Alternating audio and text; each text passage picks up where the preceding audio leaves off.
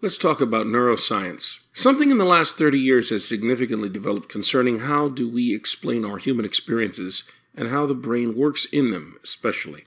What neuroscience can do by hooking up electrodes to the skull and scientifically probing and scanning brain activity while people are experiencing shifts in consciousness, experiencing bright, blinding white light color, is to register different brain states. In the Synoptic Gospels, when Jesus was transfigured on the mountain, how was he described? His clothing became blinding white light, shining white light, brilliant white color. All these instances in such cases throughout the Bible of intense white light indicates to the biblical characters and authors God's holy presence. That is their theological interpretation. In fact, in the ancient tradition of Israel, and indeed throughout almost every religious tradition we have encountered, blinding white light is associated with the holy, with the gods, and the realm of the gods.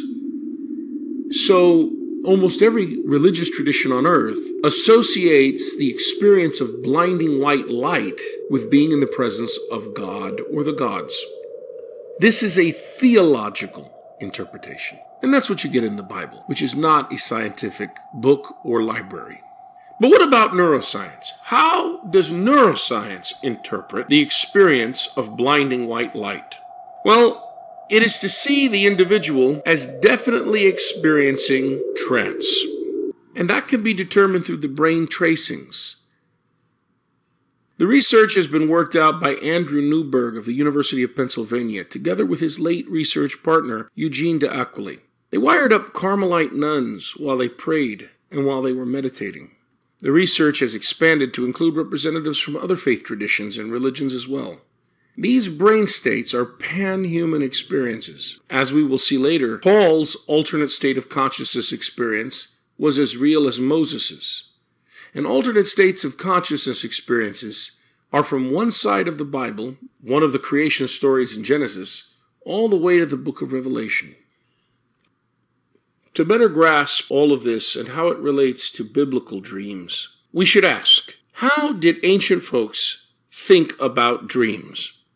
Plato, the philosopher, was skeptical about the divine nature of dreams. He notes that all women, especially, and sick folk everywhere, and those who have been in peril or distress, as well as those who have had a slice of good fortune, are wont to build shrines or found temples on the basis of dreams.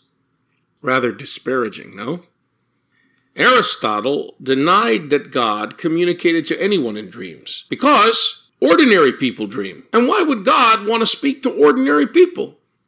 Says Aristotle, it is absurd to hold that it is God who sends such dreams, and yet that he sends them not to the best and wisest, but to any chance persons. You see, Plato and Aristotle were elites.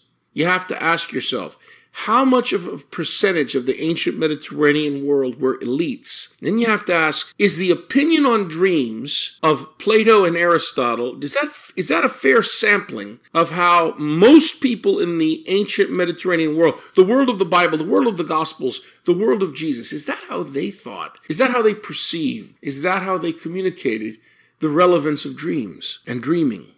Classic scholars remind us that in Hellenistic times there was no single authoritative theory about dreams. Aristotle, Plato, even the well known Artemidorus had little influence over the vast majority of people. It was the Homeric writings that remained the classic sources on dreams and their interpretation. Indeed, for Hellenic culture, Homer comes pretty close to being sacred scripture.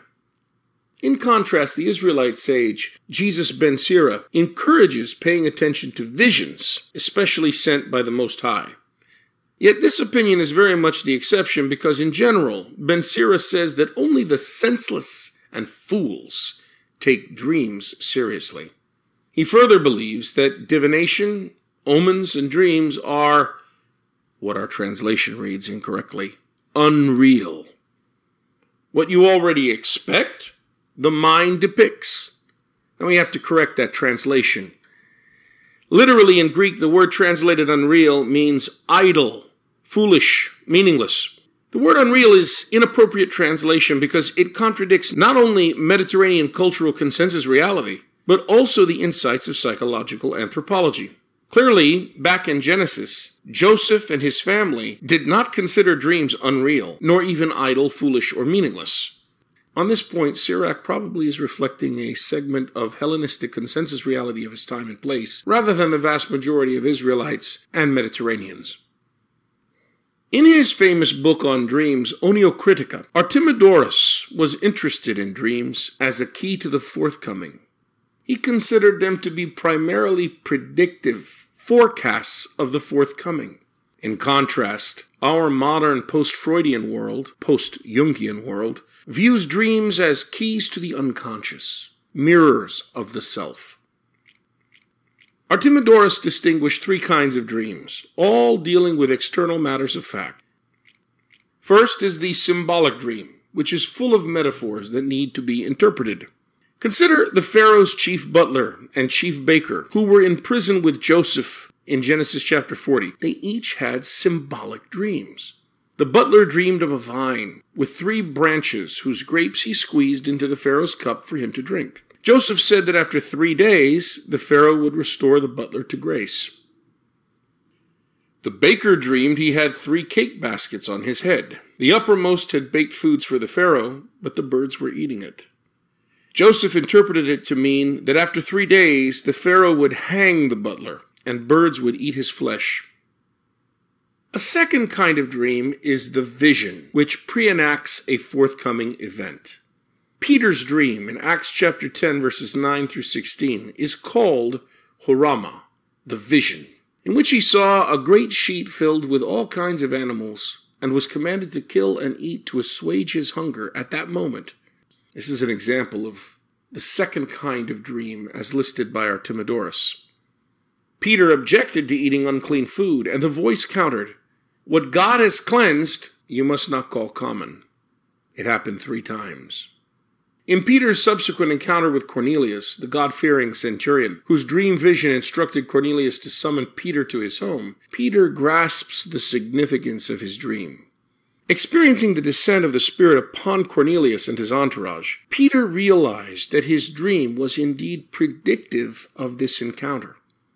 This resulted in a change in attitude of certain Judean believers in Jesus toward totally enculturated secular Israelites, civilized Hellene, Greek speaking, Greek living, Greek eating Israelites, secular Israelites who wanted to believe in and accept Jesus as Messiah.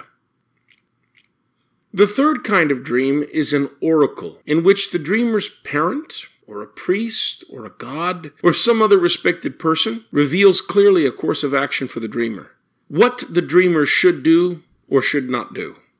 This word chrematismos is the Greek word Paul uses in Romans chapter 11 verse 4 to describe Elijah's encounter with God on the mountain back in 1 Kings chapter 19.